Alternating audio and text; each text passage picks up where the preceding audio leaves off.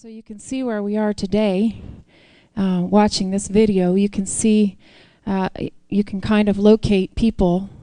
Maybe you know you can find yourself a little bit in, in some of what he said, but you can see society today has fallen into the cracks of of everything that he spoke about.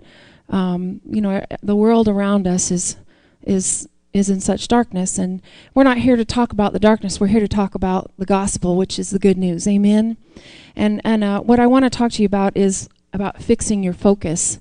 I really believe that um, Pastor Steve and I have a mandate from from the, the heavens to sort of hammer on this right now and remind us uh, about our focus. You know, Pastor Steve talked last week about what's what is what matters what what's real? We're on the on the subject of reality check. What what's really real?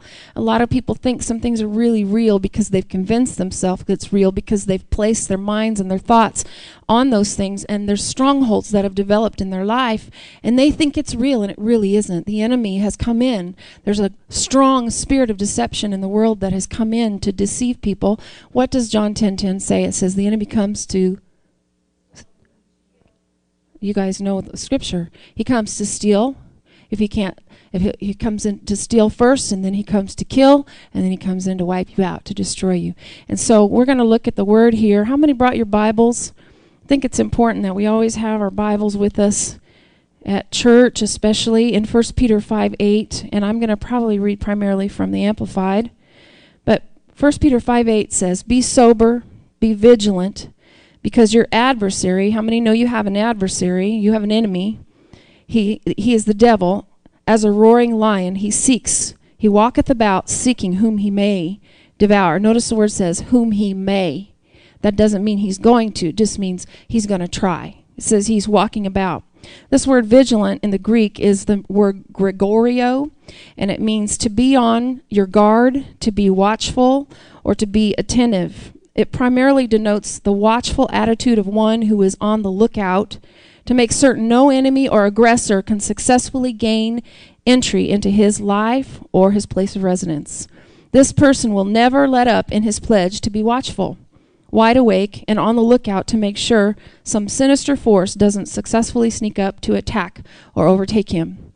I visualize myself, you know, our, our, our men at war, and I'm imagining they're equipped with you know, guns and the equipment that they have, you know, boots and all the different things. I don't think they're probably casually walking through the streets, just, you know, swinging their guns around and, you know, doo singing Que Sera Sera, whatever will be, will be. No, they're, they're vigilantly watching for their enemy, aren't they? Because they know he's there to take him out the moment he gets a chance.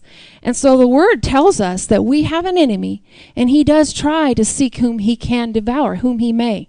But we sometimes live life like, you know, and we don't think about what is going on in the spiritual sense. We're very caught up. Everybody knows we're a three-part being, right? Everybody's been taught here. We're we're spirit. We are a spirit man. We live in a body. This is our tent or our, our, it's like our sheath, a knife in the sheath, as the Bible refers to. Um, and we have a soul. That's our mind, our will, and our emotions. Three part being. But who you really are when you die and go to heaven, you know your body stays back, your emotions fail, but your spirit man goes on. That's and if my spirit were to leave my body right now, I'd just be a piece of skin on the ground, just clump. And so my spirit man is alive unto God. Amen. And so so let's look at 2 Corinthians 11:3.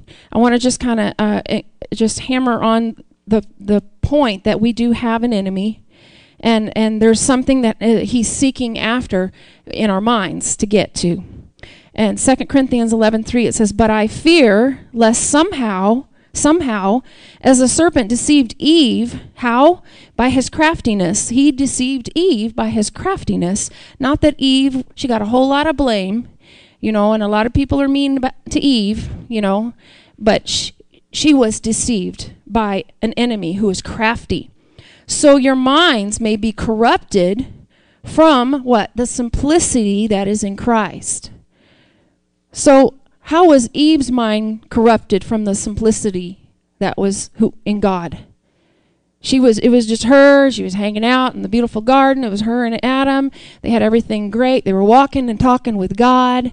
And all of a sudden, God said, "Don't go eat of the fruit," right? We know the story. And what did she do? She went over and she was tempted. And she gave place to the enemy. What does the word say? Give no place to the devil. Well, how does she give place to him? She started listening to the wrong voice. She started talking about the problem. She started doubting what God said. Let me tell you something. The word says that we can have what we say in Mark 11, 23 and 24. It says in the Bible that God, Jesus came to give us life and life more abundantly. It says that he took everything upon his body so that we could walk in health, wealth, and wholeness, everything that we need. So when the enemy comes in and says, You're not getting it this time, you turn and say, That's not what God said. And you stand on what the word says, because the word says I can have all things. I can do all things through Christ. I can have what the word says. What are the promises of God concerning this area that you're standing in? You you turn back to the devil and you say, "This is what the word of God says. I believe what the word of God says." If Eve would have said, "You know what? Stop right there in your tracks. I believe what God said is true." He's not a man that he should lie, and I'm not turning my back on what God said. What's God said to you lately? What's what has he promised you? What's deep within your heart? What's in your soul that he has said? What's some things that you have pushed back and you've given up on? What are some dreams and hopes that you've been you've been saying, God, I just I, you know, time's just gone on and I just don't know if I'll ever ever see it. I'll, I just have let it go. You know, sometimes when there's a dream inside of you, it's easier to let it go because it hurts less. But I want to encourage you tonight, don't let go because God has put those dreams, He's birthed a seed within you for a reason. And there's an incubation process. There's a time frame for you to carry that thing. And you don't you have to nurture it and you have to allow it to grow before it can be birthed. Don't abort the plan of God in your life prematurely. Amen. Okay, so that was all not in my notes, but 2 Corinthians 2:11 it says and I'm just giving you a snippet of it. It says in order that Satan might not outwit us, so it's possible for we are not unaware of his schemes. We are not, the word says, we are not unaware of his schemes. The reason why we're not unaware is because he's the same dumb devil. He does the same dumb tricks. He doesn't have anything new in his bag. He pulls out the same stuff. But we have the greater one on the inside of us, and we know how to conquer the enemy. Amen? We use the word, we use the blood, we use the name. We have the tools to overcome. Okay, so moving on to James 1 5. Hebrews, James 1 5 through 8. It says, If any of you is deficient or lacking wisdom, let him ask of a giving God. I like how it says right before God, it says, a giving God. Let him ask of a giving God who gives to just a few people, no, everyone. How how much? A little bit, chintzy? Liberally. He gives liberally and ungrudgingly, without reproaching. It means he doesn't hold anything against you or fault finding. He's not looking at what you've done wrong or what your past is. He's looking at your future. He's got a hope and, a, and he's got a great future for you. And it will be given him. That's a great scripture right there to stand on. That's a promise. It says he will it will be given to me. Only it must be what? In this is the big thing in faith. Only it must be in faith that he ask, with no wavering, no hesitating, no doubting. For the one who wavers, hesitates, is like a billowing surge out at the sea that is blown hither and, t- and thither and tossed by the wind. So we can be in faith, we can ask God for something, and we're standing and believing, and all of a sudden something comes and causes to our our faith to waver, and we and, and the devil's right here, right by your ear. He seemingly has a loud voice in those moments, and he says, You're not getting it this time. You're not getting your healing this time. Yeah, you did it before, but this is too big. You can't do this one. You know, or you're not going to be provided for this time. This is way beyond. You messed up. you did something wrong, it's all your fault, God's not going to get you out of that. That's a big fat lie. Amen. It's not by works, lest any man should boast. It's by faith. It's by faith. And our faith is not it's not in our own wisdom, it's not in the wisdom of men, but it's in the power of God, right? It's in the power of him. I love it when we come in here and we worship. You can just sense such power in, in, in the presence of God. It's like when we worship and we want to stop and just allow people to come up and let's lay hands and let's let's get what's available because there's rivers flowing. There's power that's available in this place because we've acknowledged God and we've magnified Him and we've put Him in our focus and and and we're we're thinking about Him and Him alone and and we're fixing our focus. We need to fix our focuser. Do y'all know? You guys know? I don't know much about it, but I guess laser is is light, and they can open up somebody's belly with laser. But it's all about a focus, and I don't know all the scientific parts of it, but it's all about a, a focus of a light. There's so much focus of that light that it just bzzz, it can burst forth skin. It can burst forth anything, probably. I don't know. But it's amazing to me that that much focus of one thing, light. You know, when you're having a baby, they always say, get your focal point. Well, you know, I was, I think I was 21 or 22 when I had my first one, and I'm like, focal point? I got a nine pound baby inside of me. You want me to get a focal point? That's going to help me deliver this child? You know? Posterior? you know, and I thought, okay, I'll get my focal point, you know, and your focal point, if you guys don't know, you guys probably know, it's your happy place. You know, you get your mind set on something that helps you focus. And, you know, we went through the Lamaze classes and they showed us, oh, you get a picture of, you know, you're a baby or you get a picture of, th- I'm thinking, you got to be kidding me, right? That's going to help me deliver this baby without pain? But you know, it's amazing what the mind can do. And I'm not into mind control, but God created our minds to be set on something else so that our spirit man can rise up and conquer and rule and reign in the situation. And I believe that's how it happens. And so, you know, I got my focal point. I don't remember what it was now, but I got my it was my husband's face. That's what it was. He was eating peanuts in my face, peanut breath while I was laboring 24 hours. I'm like, get out of my face. But, anyways, yeah, he, he had to have his strength. I had nothing no food, no water, no.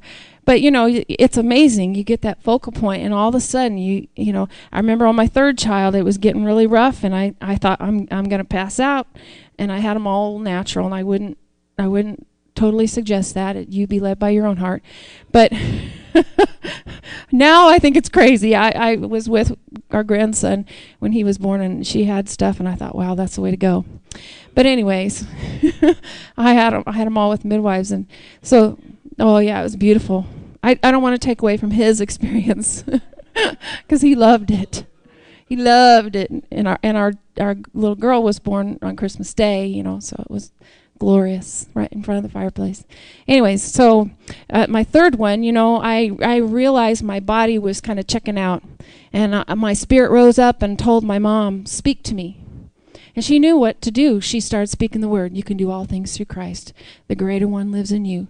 You're more than a conqueror. And I like using this example. I know I've used it before, but I like it because I thought afterwards the Lord showed me if I would have said, I can't do this, I probably wouldn't have. I probably would have passed out at that moment, and you know there would have been lots of problems because you know we had some we had some humps to cross after that, and God brought us through. Praise God.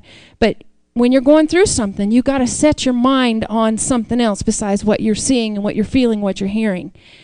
Because if you're focused on your surroundings and your circumstances and, and the big baby coming out, you're you're gonna probably have a problem Amen. I don't mean to be crude, but that's kind of it's a good you get the picture. Anyways, okay, so um, so it's important that we are focused people. I, I looked this up because I, I heard a speaker say this. He said multitasking is a myth. He said, We pride ourselves today in being able to multitask. We can do so many things, you know, while we're driving. We're, and I'm guilty of this, you know, doing things talking on the phone, putting mascara on, driving with your knees, you know, just doing all kinds of things and you think, "Wow, I, you know, I can do this. I'm super mom, you know?" But I looked it up and the studies show ask a pilot if you can multitask successfully. You cannot multitask successfully if you're going to do something well.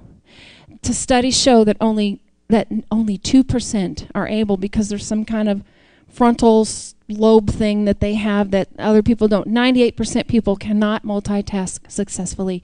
The reason why is the brain goes into like this uh, I don't know, it's like a bottle neck mode and things kind of slow down because you got to process each thing. You can't possibly do too many things at once successfully.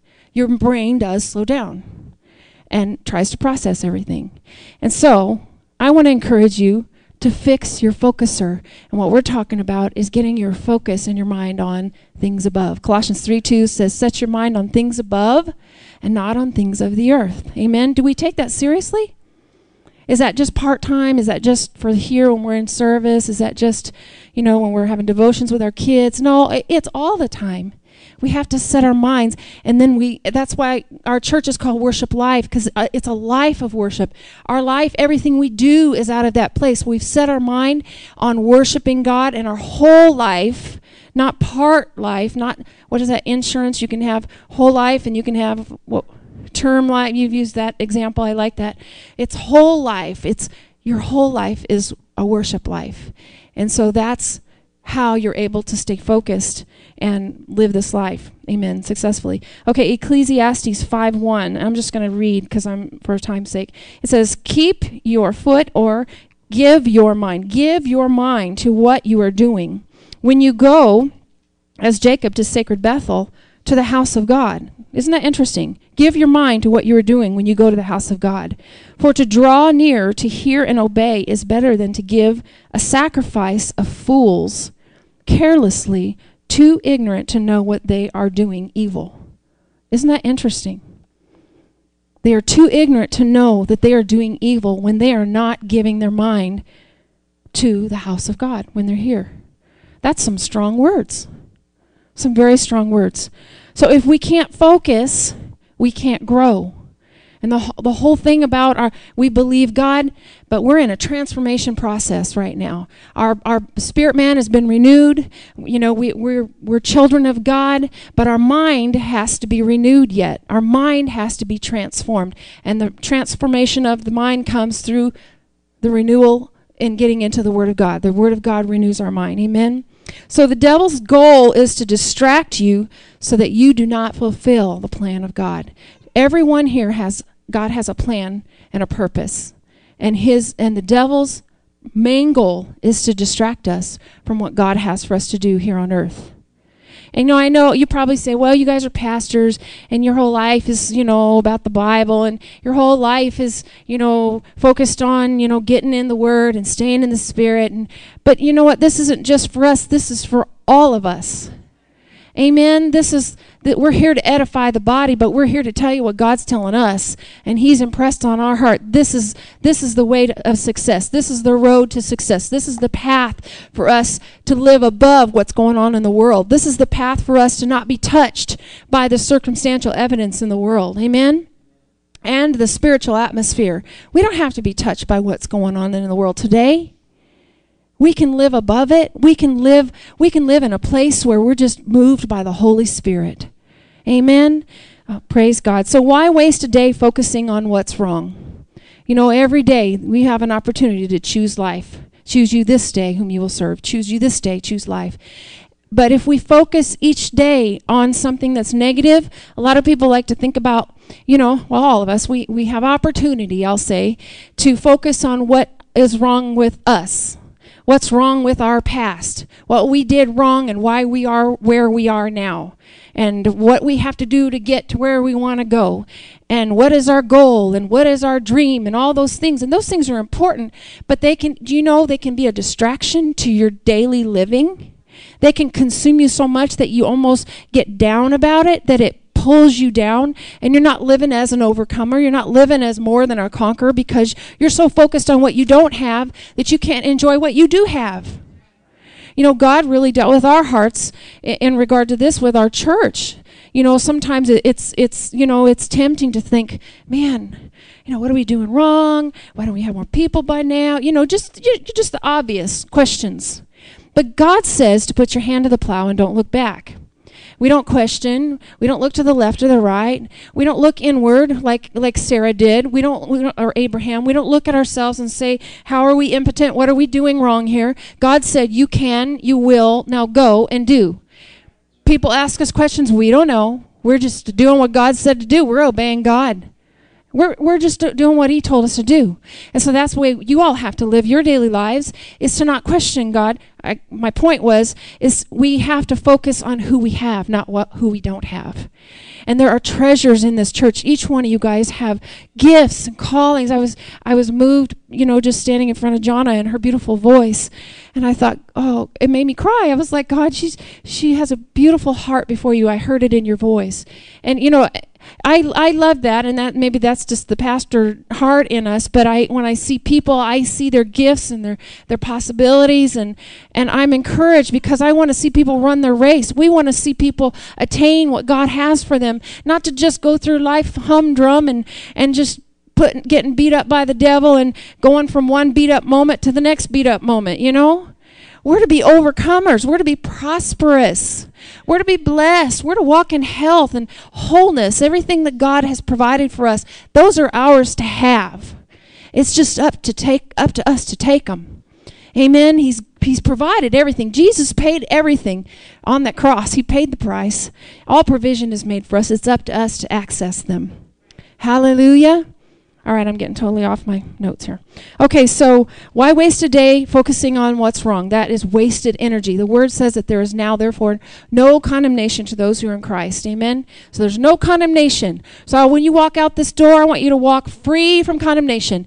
Let go of everything that's happened in your past. Say, God, he that the Son has set free is free indeed. I'm free from this point forward. I don't care what's in my past. I let go of it. I release the weight of it to you. And I thank you, Father, that you've made me a new creature in Christ. It's no longer I that lives, but it's Christ that lives in me. Amen. The more you know who you are in Christ, the better and more successful you're going to be. Amen. Because it's not you that's functioning. It's not you that's talking. It's not you that's operating. It's not you that's touching the people. It's Christ in and through you. It's Christ's words. It's Christ's anointing. Oh, I love when when Jesus came. He he came and he did the works, of, and and and the reason why he did the works, the signs and the wonders, was so that people would recognize who he was. And so then he started saying, and he was a man. He didn't come he didn't come in his deity, he came as a man. And he did amazing things as a man. And then when it got time, closer to the time, he, he saw the need to start giving his disciples, imparting some, uh, delegating some, some things for them to do. When they started breaking the bread and the, and the loaves and, and, the, and the fish, there were how many? 3,000, 5,000? And, and I don't think Jesus was the only one who went around and broke the bread and, you know. No. What I have envisioned is he said, Peter, you do this. Paul or whoever was next, you do this. James, not Paul. You you do this. And he and he broke and and and so then Peter said to there was a Sarah, and there was a Mary, and there was a John, and there was a whoever. And as they went, there was a miracle in their makings, and the crowd was a part of it because they saw the miracles and they believed. I believe that's how it happened. We don't know all the details, but I believe that Jesus wanted the people to see that they had the ability. And remember when he got ready to leave, he said, It is better for you that I go so that the Spirit can come and enable you, because greater works will you do. Well, how are we going to do greater works? Well, that greater works is not necessarily in ability or in might, it is in numbers. How much more are we are we covering the earth right now through television and radio? It's greater works. Amen. It's not greater in miracles. We can't top what Jesus did. You know, he ra- he raised the dead. We can do that but the greater works is in numbers. And so Jesus said, It's better that I go so the Spirit can come and enable you. You know what? Jesus was all about multiplicity. He's always about multiplying you.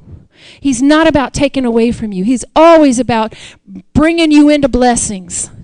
When we pray for you guys, we pray blessings overtake you. When you walk through this store and you walk out, this is a house of God, but it's our house that we have dedicated to the Lord. And we say, God, every person that walks through that door is going to be blessed. Amen. And I believe you all have seen, those of you that have been here already for a while, you started to see some change. Amen. You know, when Buddy gets up here and, and leads us through that, that declaration over our tithe and offering, we're not we're not just filling space. We're not just filling time. We're not saying, Buddy, could you give us a little offering spiel before we do, you know, no, what we're doing there is we're casting a vision before you, not for us.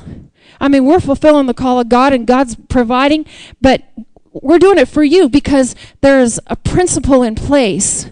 When you give, it'll be given back. Pressed down, shaken together, and running over, shall men bless, pour into your bosom. And so what what is important is that we understand that God's all about multiplying. So when he goes up, he sends the Holy Spirit down. All of a sudden, he says, "You're going to do these works," and he says, "I've given you power over the enemy. Uh, you know, you can tread upon serpents and scorpions, and nothing will hurt you." Amen. Same thing that Jesus did. He said, "I give it to you. You do it. Now you go and you do." Same thing multiplicity. He just multiplied himself.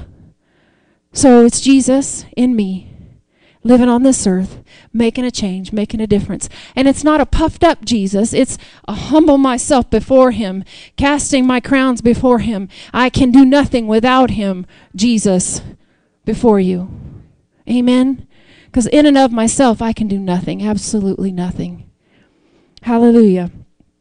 So focus on what's right. Wrong focus steals your energy. Okay, I only got through the first page, and it's eight. Okay, can you hang with me just a little bit? Praise God. All right, so we, it's important that we're not distracted from God by our own mistakes. I covered that. Don't talk about what the devil's doing, talk about what God's doing. It's a temptation in this day and this hour to talk about what the devil's doing because the devil's doing a whole lot. And if you get online and listen to that that uh, what's his name? I forgot his name already. Yeah, Paul Harvey.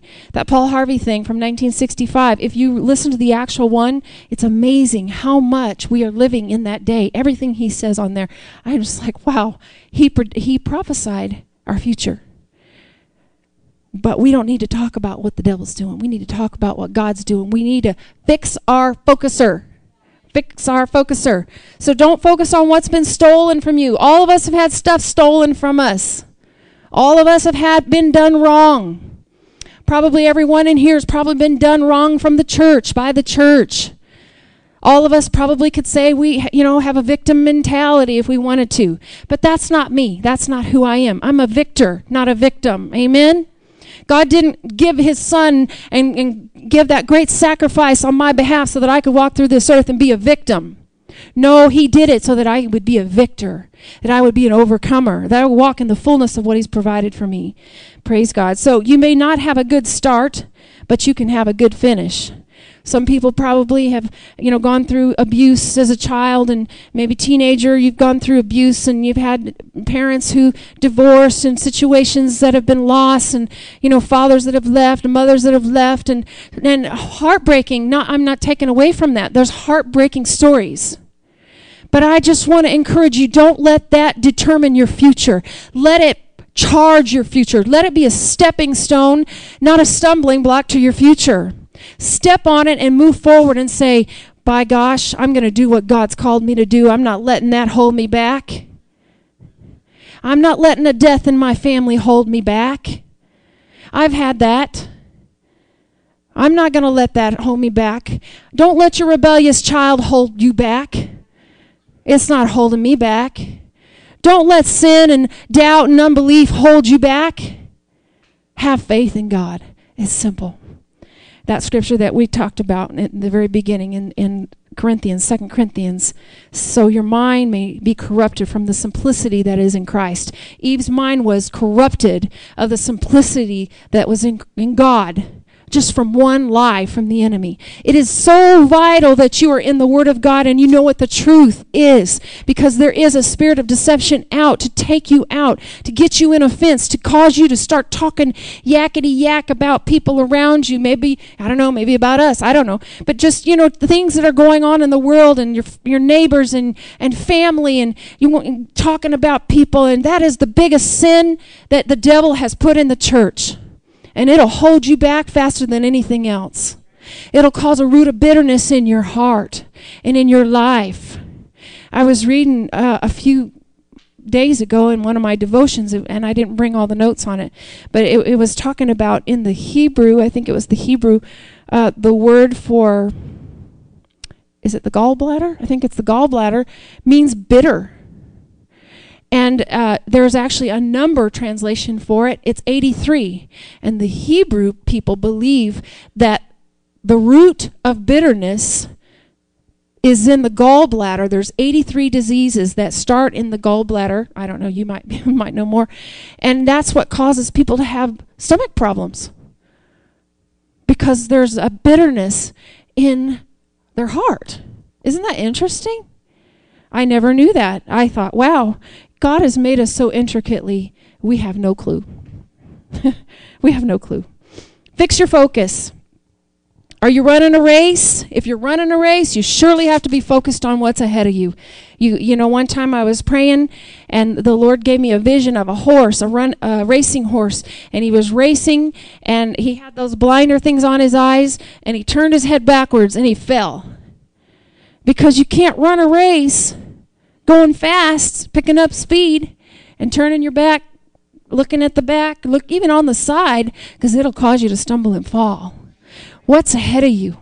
What's God got for you today? What he has what does he have for you tomorrow? He's put you here for a purpose. He's put you in worship life to make a difference, to make a change, to bring your giftings and your callings in to equip and to assist. And let's do something in this community. Let's make a difference here where we are. Let's not waste any more time.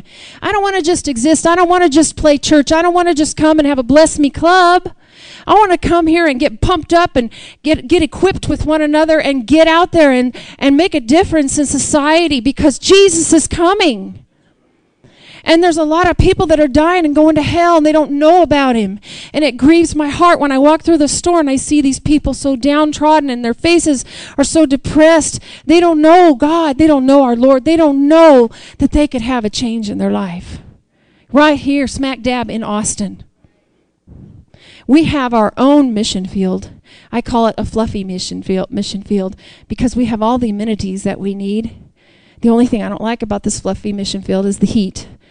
So I can only imagine what it's like in Africa, but I'll be okay. I'll I'll suffer for a little while. Praise God. Okay, let's look um, let's look at Mark 4:19 real quick. I'm only halfway. Uh, and I won't I'll skip through.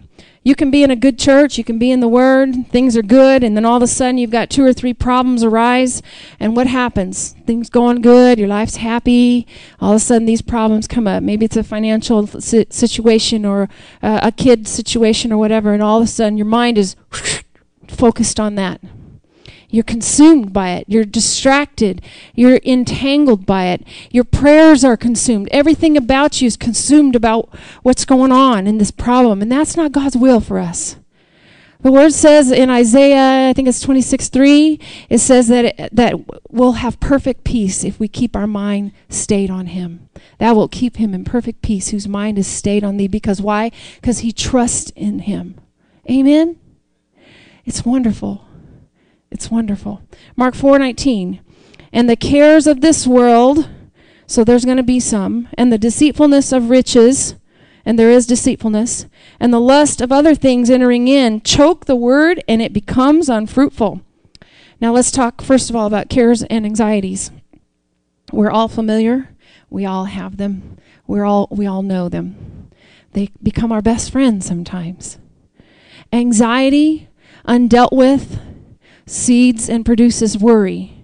Worry undealt with seeds and produces fear. Fear comes in, and the word says, where there's fear, there's torment. Amen. How does our faith work? Faith works by hearing. Well, no, faith works by love. Faith comes by hearing, faith works by love. And so if there's fe- if fear in our life, fear and faith don't come in together. They don't, you know, you know, don't, one don't one doesn't push out the other. You either have fear or you have faith in your life. And so, in order to, for your faith to develop and to grow and to, to operate and function, there has to be a place of love. And how do we get that? It's by being in the love of God. And perfect love casts out all fear.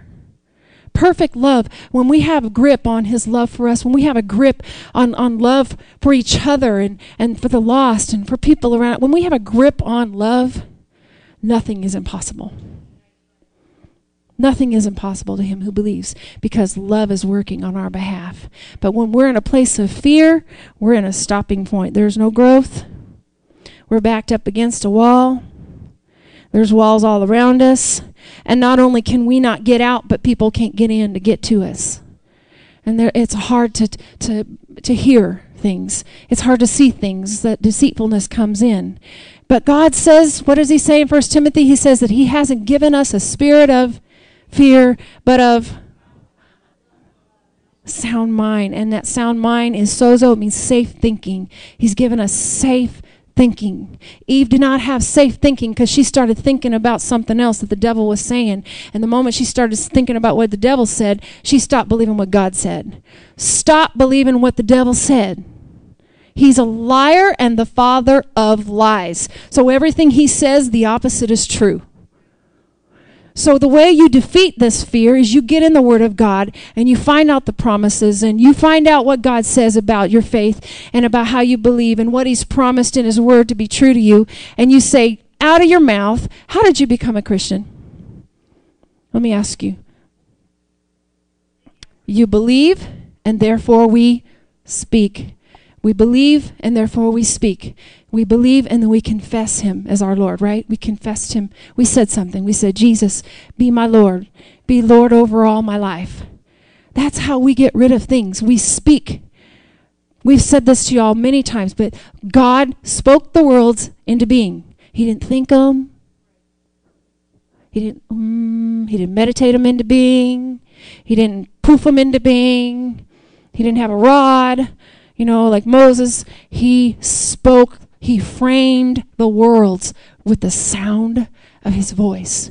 There is a sound in your voice that has creative power. The breath of God breathed into Adam and gave him life. And that same spirit raised Christ, the same spirit that breathed life into Adam, is breathed into you all. And that same breath that comes out of your voice when you say something, my God shall supply all my needs according to his riches and glory through Christ Jesus. There's a sound going forth, there's a power that's going forth, and it's a creative power, it's a creative force, and it's bringing it in. It's bringing it in. It's bringing it into existence. You know, we, we, were, we were dealing with Braden this past week. He was had a really high fever, about 103.3, very lethargic on Friday night. I was uh, I was getting a little concerned, and we just kept praying. And uh, you know, even in my moment of weakness, Pastor Steve come over. No, we're gonna pray. You know, the devil's he's not gonna get well. It's been three days. Well, I don't know. Jesus raised a man from the dead after three days, so I don't think three days is too bad with a, a fever. But you know what? We get into fear. We oh, we got to run to the doctor, and I, I'm not. I'm not not condoning. Uh, I'm not. What's the word I'm saying? I, we're not coming against doctors. We they're there for us for a purpose. God gave them what they have to help us and equip us. But we do need to operate in wisdom. And we need to do we go to prayer first? Do we go to god first? You know when, when i was young you know my parents didn't have a whole lot of money. So uh, you know we believed god and we prayed and and that was our way of getting what we needed you know. And my feet that used to be crooked you know were healed and my teeth were straightened by the power of god. And you know lots of things happen. My i remember my brother was sick one time. My mom prayed he got healed. Do we look to our source first, or do we look to our doctor source first? First. Do we call and, uh, you know, oh, so and so, you know, he's sick, he's sick, he's not feeling good. And I'm breathing the power as I say that. He's sick. He's not feeling good. No, he's not, you know. You see what I'm saying? I'm breathing. There's power of life and death in the tongue, and they that love it shall eat the fruit thereof. And so when I'm saying stuff, I'm breathing out either death or I'm breathing out life. What do you want to see in your family? What do you want to see in your kids? What do you want to see in your finances? What do you want to see in your marriage, in your husband, in your wife? What are you saying? This wasn't in my notes, I'm sorry.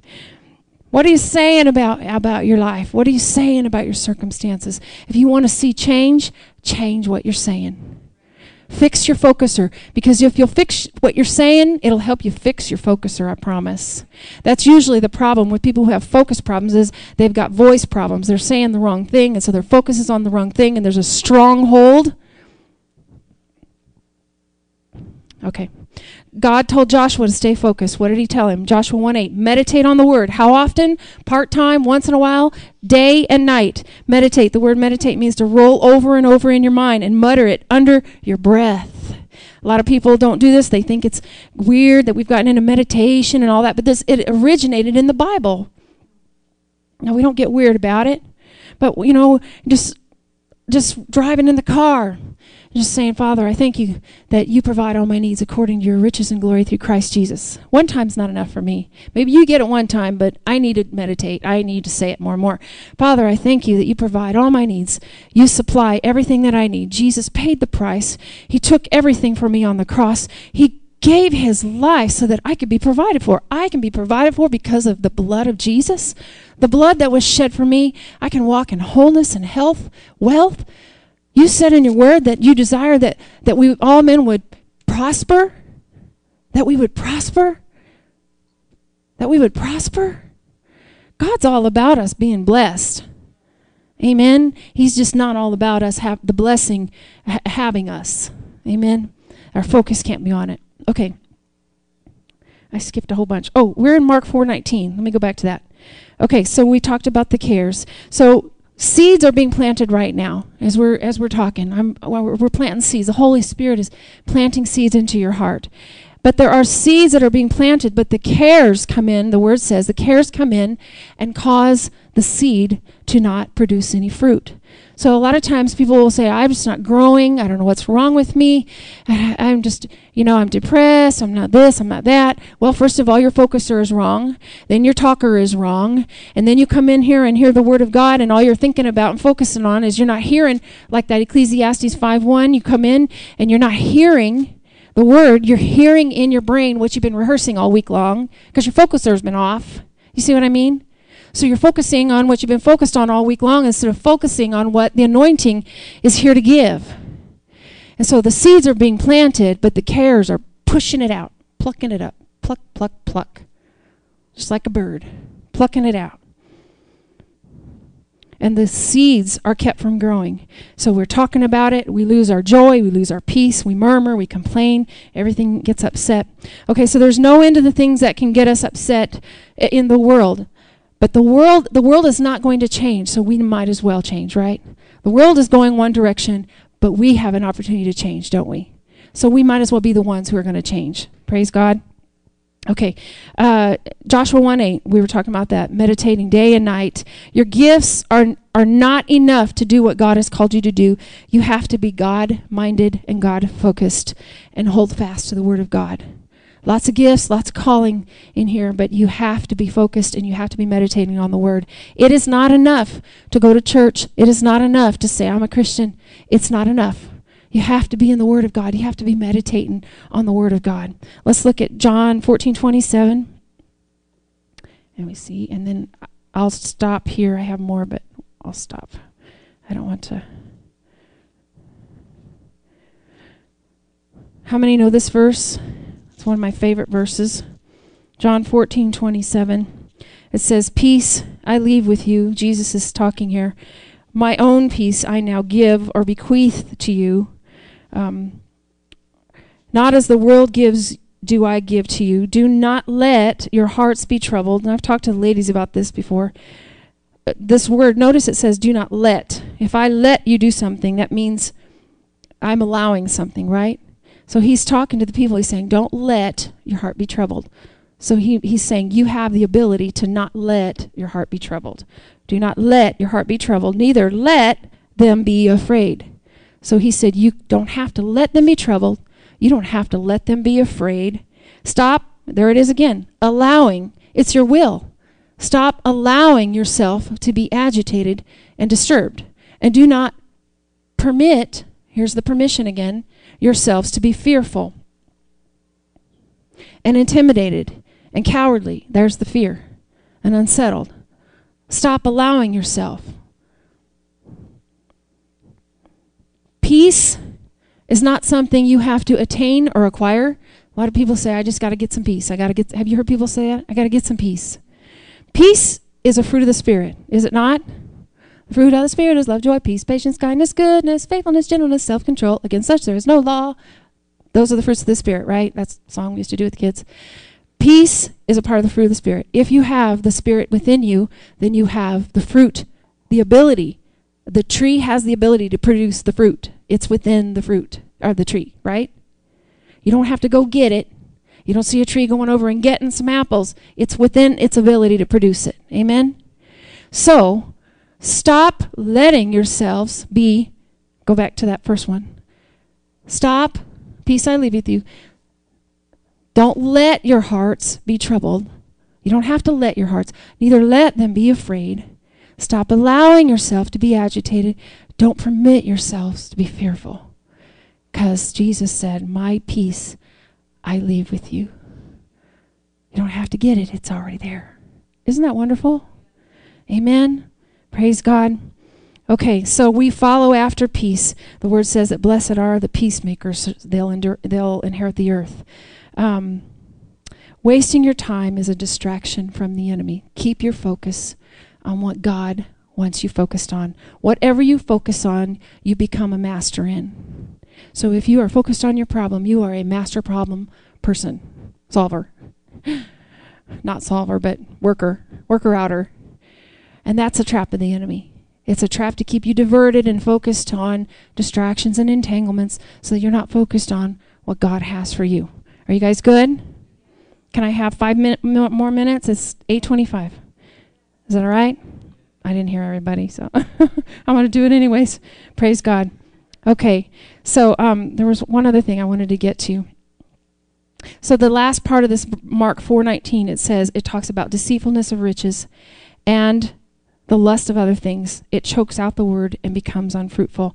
I see in the day and the hour that we were all about, and we saw in that video, we're all about attaining things, about materialistic things, about getting stuff. Stuff, stuff, stuff. I need more stuff.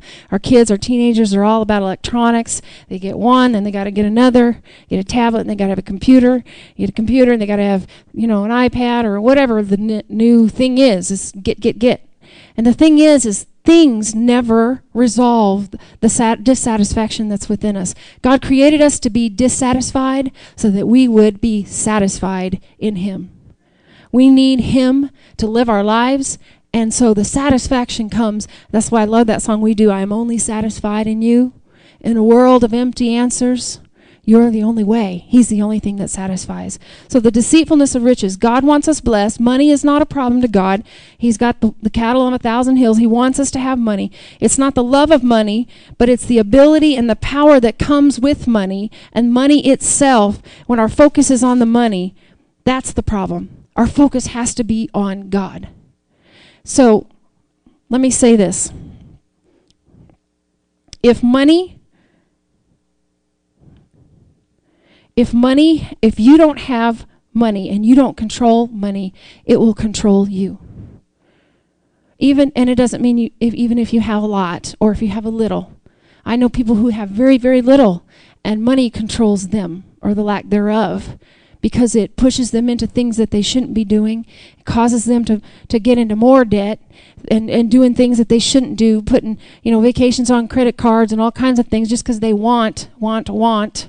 And then there's the opposite. There's people who have lots and they're doing all kinds of things that they don't need to do, and their balance is off, and their focus is on entertainment and doing things because they have the ability to do it. And the distraction is there, and it keeps them focused on other things, planning new things all the time. And the and the and the and the God is right in front of their face, saying, "Hey, I want your focus. Full time focus, not part time. Full time focus, because I got a job for you to do. I got something for you to do. But the word says here that the deceitfulness, it's deceitful. Riches have deceit that come with them. And sometimes I don't think we realize the more we have, the more we have to take care of. Every trinket I bring in the house, I have to dust. Every piece of clothing I have to bring in, I have to do more laundry. I was just saying today, I'm ready to take loads and loads of uh, clothes to the Goodwill. I feel like I'm doing laundry all the time. Just clothes, clothes, clothes, you know? But the more you have, the more you have to take care of. And I'm not saying that God's not, not all about us being blessed. I am totally about prosperity. I'm totally about us being blessed. But there is a deceitfulness that comes in with wealth. And you know what? There's a, there's a temptation for us to hoard and to keep it for ourselves. But the whole reason why God blesses us, blesses us is so that we will give. We will be givers. It's not for us, it's for Him. The first 10% is His, anyways. We haven't even begun giving offerings until we get the t- first tithe 10% out because that's His. And all it says when we give it to Him is that it says, We're trusting you. We know you're the one who's responsible to get it to us, so we're trusting you, God. Praise God. God never gives us more than we can handle. So we need to pray, God, don't give me any more than I can handle when it comes to riches. Because sometimes it can come upon us and we don't realize how much it's controlling us. It's deceitful. Matthew 6:33 Seek ye first the kingdom all these things will be added.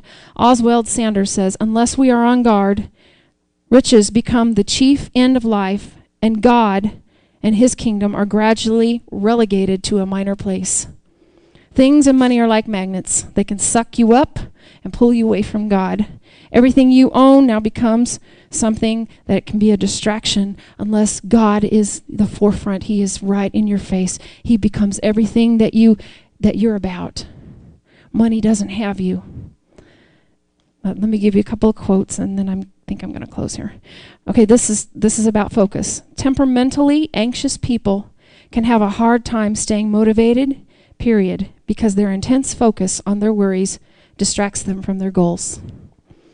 Reality is a pro- projection of your thoughts or the things you habitually think about.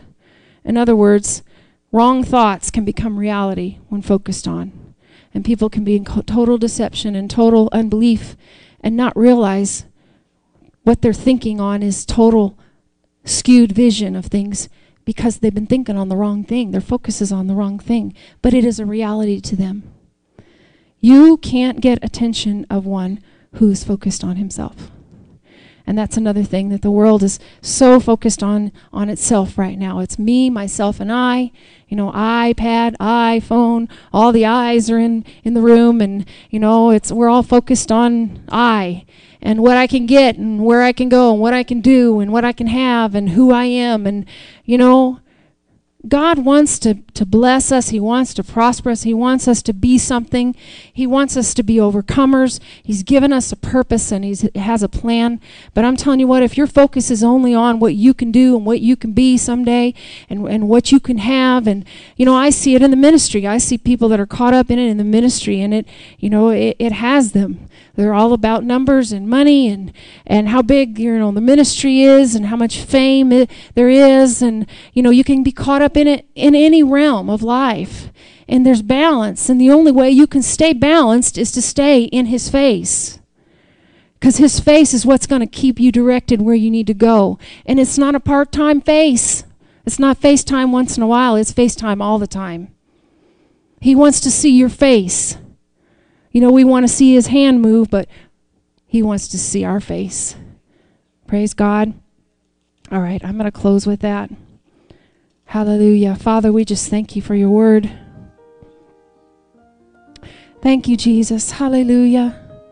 Sempre veria shore de gista la lavande genemia sobrevedese. Socoria. Father, we thank you. For the leading of your Spirit, for the truth of your word, for the impartations of the Holy Spirit tonight. Thank you, Father, that you don't just give us information, but you give us revelation, God. We don't want to just be puffed up with a bunch of words and a bunch of stuff, but we want to leave here with changed hearts. We want our hearts touched and molded by you, God. We want to be filled up to overflowing with who you are, Father. And Father, right now we repent before you. We ask you, God, if there's anything that we we've been carrying, God, any cares, anxieties, fears, uh, it, the, even the deceitfulness of riches, God, if there's any of these areas that are touching our life at all, Lord, we surrender all. We surrender all. We lay it all down. We give it to you, Father. We give it to you right now in Jesus' name. We cast the whole of our care on you, God, because you do care for us. And we thank you, God, that that in this moment, God, we can we can trust in you. We can put our hope in you and our confidence in you, God. We know that you love us regardless of how we've lived our life in the past. But today, Lord, we stand up, we stand strong, and we say, God, we fix our focus on you. We keep our mind and our hearts set, set on you.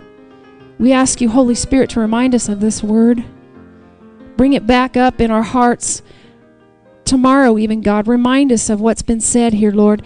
Please, God, help us to make a change in our walk in, in what we're looking at, God. Help us to have an understanding of, of the depth of this truth, Lord. It can really make a change in our lives. And not only in our lives, God, but it'll bring change to everybody around us. So, Father, we thank you. Thank you for the Holy One living on the inside, the hope of glory. Thank you for your word that it is a lamp, that it's lit our path tonight and it's showing which way to go, which way not to go. Thank you for the anointing that is on each and every person in this house today. Thank you, Father, that these men and women and children and young people are rising up and being strong in the Lord and the power of your might. That we're not caught up and intoxicated with the world's system and the world's way, but we're intoxicated with you, God. Fill our cup, fill it to overflowing. We'll be sure to give you the glory and the praise. We honor you and we thank you tonight in Jesus' name.